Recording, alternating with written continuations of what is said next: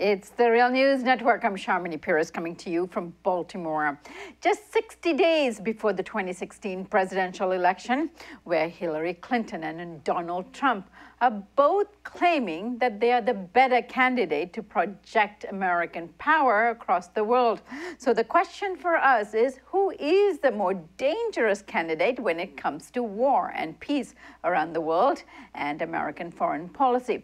Joining me now to discuss all of this is Phyllis Bennis. Phyllis is a fellow and director of the New Internationalism Project at the Institute for Policy Studies in Washington, D.C. Phyllis has written and edited 11 books, among them Understanding ISIS and The New Global War on Terror, a primer. Phyllis, so good to have you with us today. Good to be with you, Sharmini. So, Phyllis, um, Trump says when he becomes president, he will undo the Iran deal. But Hillary, Hillary Clinton is the most Israel friendly candidate we've had in a long time.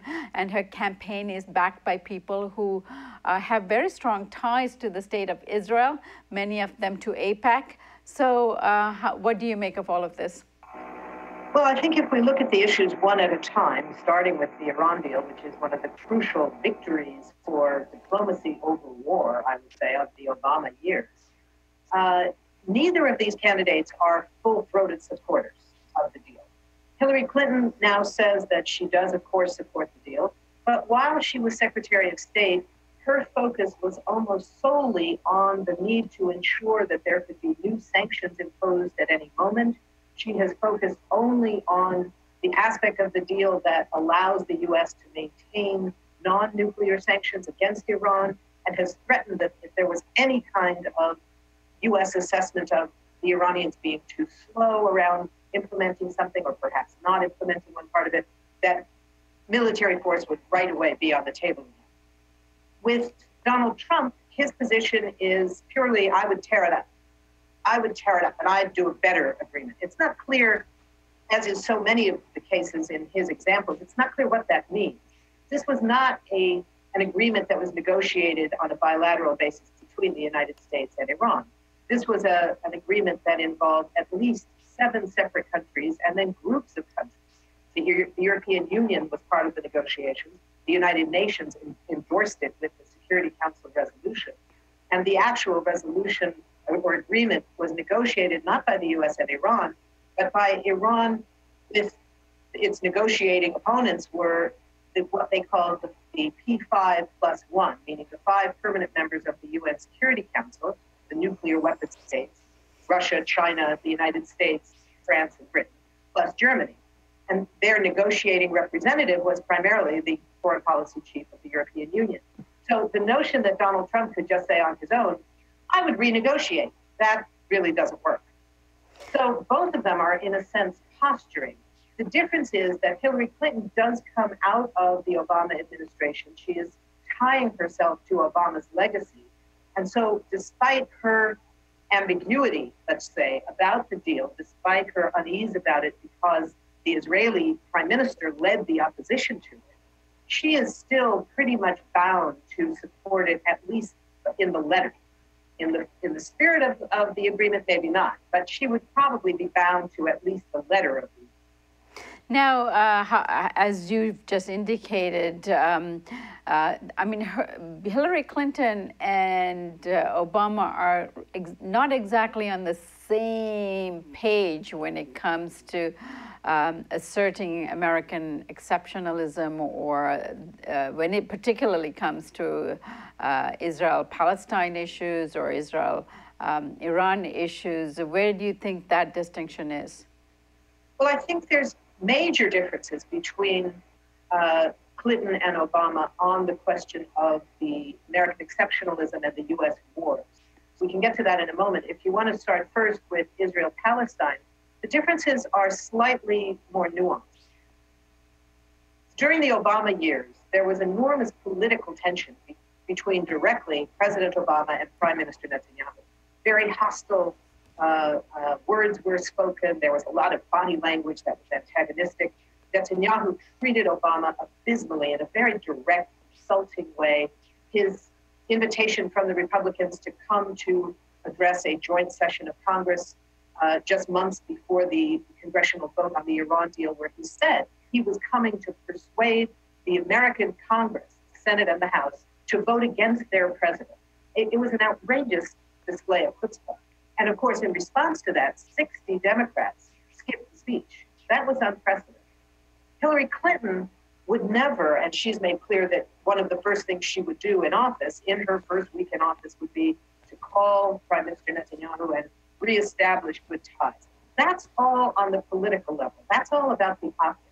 Because if you talk to Israeli uh, military and strategic officials, they all agree that President Obama has led the most pro Israeli administration in recent history. Not because of the politics, they can deal with that. They can deal with the criticism of settlements, they can deal with the antagonism. As long as the real strategic relationship, which is based on the $30 billion in military aid promised over the 10 years and implemented by the Obama administration, and the agreement to protect Israel in the United Nations against allegations of war crimes and making sure that no Israeli officials are ever held accountable. President Obama hinted on one occasion when Netanyahu said that there would never be a two state solution on his watch. In response to that, President Obama did say, perhaps we should rethink our protection of Israel at the United Nations. But it never went beyond that. It never went beyond the one state. So Israel came to understand that while there might be political and optical opposition, it did not translate into a real change in policy. So the difference in actual policy between Obama and Clinton is not very much. There may be a difference on how many billions of dollars they're willing to promise for the next 10 years. The Obama administration, from what we hear in leaks, it's not public, uh, seems to be sticking to $40 billion for the next 10 years, a huge rise from the 30 billion of the last 10 years. The Clinton administration, uh, the Clinton, sorry, the Clinton campaign has hinted that they would like to go much higher than, than 40 billion, maybe as much as 50 billion. So I think in all of those cases, those are incremental differences. When you come to Donald Trump, he made very early in his campaign a statement that was picked on, picked up very, very immediately as being a major shift, where he said that he would be neutral between Israel and Palestine. But he immediately pulled back from that. He went to the AIPAC conference and kowtowed to AIPAC as much as every candidate from both parties always does. Uh, in that context, that was what was so significant about Bernie Sanders making the decision not to go to AIPAC. So the difference between uh, the a Trump administration and a Clinton administration on Israel Palestine remains very uncertain. Part of the problem here is that we cannot rely on what Donald Trump says would be his policy. None of them have any substance that we've been able to behind them. None of them have actual analysis of what it would look like on the ground. What would they actually do? His policy that we know is made up of a series of slogans. It's bumper sticker policy. And in that context, it's very hard to make a judgment about who would be more or less dangerous on a given issue based solely on what he says, because there's no there there. There's no substance behind it. And because he has this history of changing his position so consistently, the only changes every other day. Uh, it makes it very difficult to make that be the, the defining question. Right. And uh, Phyllis, let's uh, move on to uh, the current war in Syria. Um, and uh, of course, uh, along with it, we have to look at relations with Turkey and Putin in Russia. Um, what do you make of where the two candidates are um, when it comes to the current war in Syria? And who is better equipped to deal with Russia in this case? Well, I think we have a series of challenges ahead, and we have a great deal of danger from either of these candidates. Uh, both of these candidates have indicated a willingness to put a military strategy first.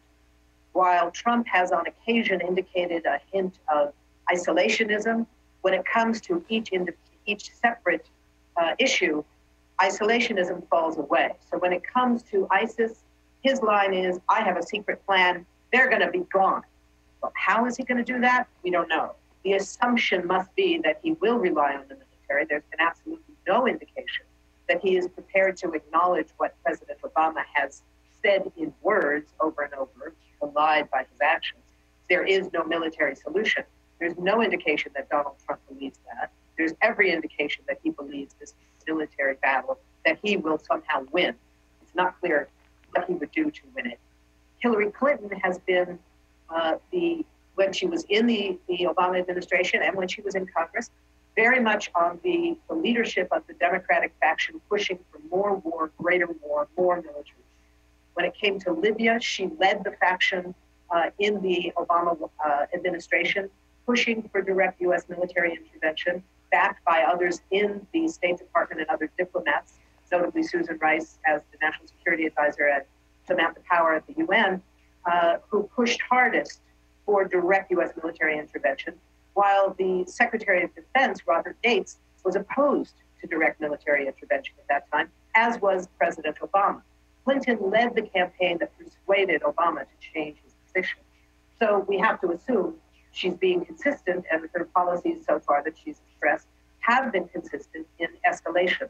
She calls for a so called no fly zone in Syria, which, as Robert Gates said about uh, Libya, he said, a no fly zone starts with going to war. I'd like to ask her does she think he was wrong? Or does she think it would be a good thing to go to war, in this case, not only against the Syrian regime, but potentially against Russia as well? In that context, Donald Trump has said he would try to reopen negotiations with, uh, with Putin. On the one hand, that's a good thing. Negotiations rather than war is always a better approach. But it's not at all clear that it's grounded in any sort of strategic understanding beyond the fact that Trump seems to identify with Putin as a very authoritarian, macho kind of style.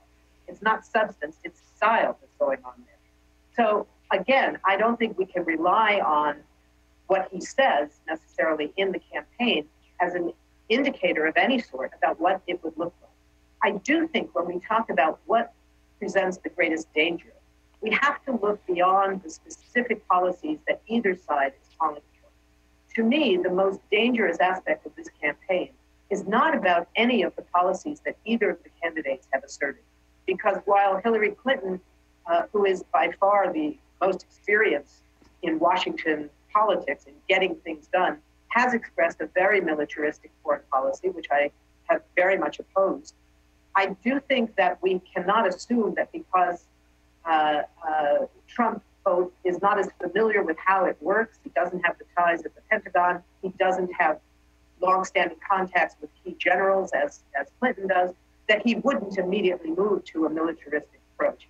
What does make one more dangerous is the movements that have been mobilized, the movement that Trump has engendered around him, and the danger that that movement, that is really a fascist movement in this country, could be legitimized when its titular leader is elected to the presidency is a very, very dangerous moment. And I think that, in a certain way, has to, if you excuse me, has to trump the individual policy that either side may speak about.